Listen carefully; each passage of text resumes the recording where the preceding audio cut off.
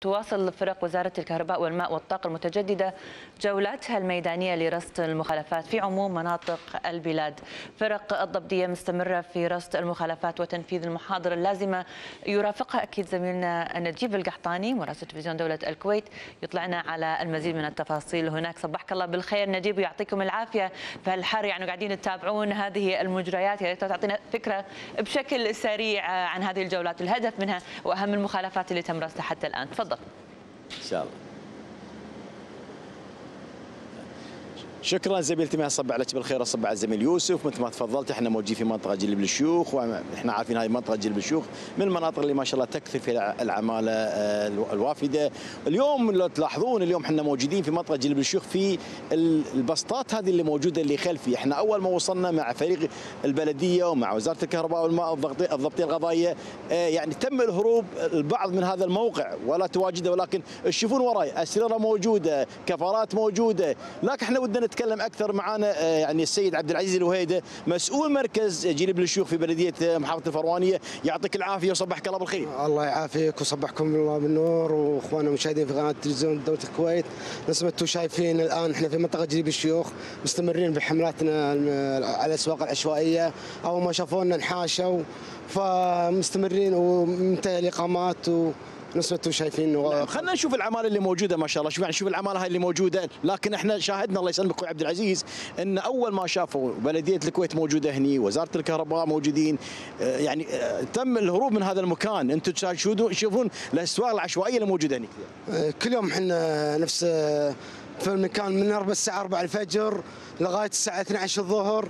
مستمرين على حملات وكل ما يشوفون ينحاشون من انتهاء الإقامة من العماله السايبة حتى الناس تتبرع يجون يبيعونها في الأسواق العشوائية نفس ما أنتم شايفين. شو الاجراءات تتخذونها معاهم؟ ستة شخص أو أشخاص باع متجولين، شو الاجراءات تتخذونها معهم؟ اجراءنا نخالفه مخالفه بيع متجول ونحوله لجهة اختصاص لحد المقافر القريبة من عند منطقة جلب الشيوخ. نعم. حسب ما تفضلت إن في أشخاص يتبرعون حق ناس، لكن هذول الناس اللي يتبرعون يجون هني يبيعونهم في هذا المكان في أسواق جلب الشيوخ.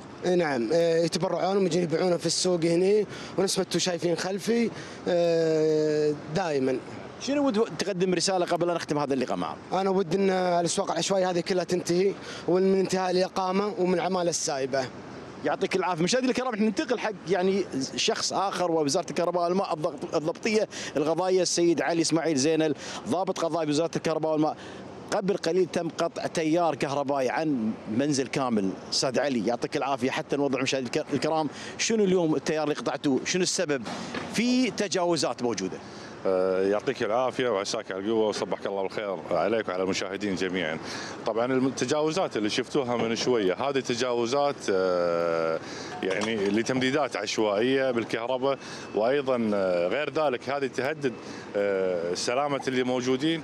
طبعا مثل ما أنتم شايفين الحين اللي بيدنا هذول هذا كله تم فصل التيار أو قطع عليهم بسبب التوصيلات العشوائية والتوصيلات المباشرة طبعا أكثر من مرة إحنا نجي نخالفهم ويرجع الموضوع كما كان مرة ثانية ف شو الاجراءات تتخذونها مع هذا صاحب المنزل؟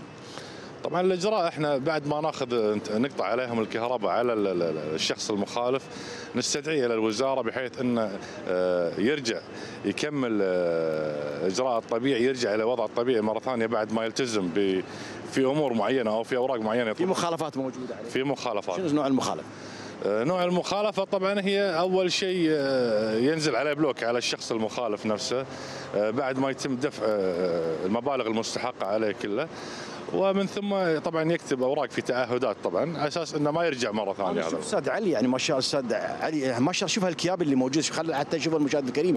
يعني شوف توصيلاتها عملها. أنا قاعد أشوف المحولات حتى اللي موجودة طريقتها عشوائية.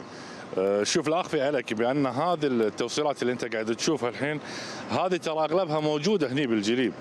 يعني انت الحين بعد القطع اللي إحنا سويناه أنا متأكد إنه بعد شوية راح يرجعون مرة ثانية ويردون يسوون التوصيلات مرة ثانية ويمكن أكثر من كذي بعد. شنو تقدم نصيحة لملاك منطقة الجليب لأصحاب هذه المنازل اللي في بعض التجاوزات تجاوزونها بعض الناس اللي موجودين في هذه المنطقة؟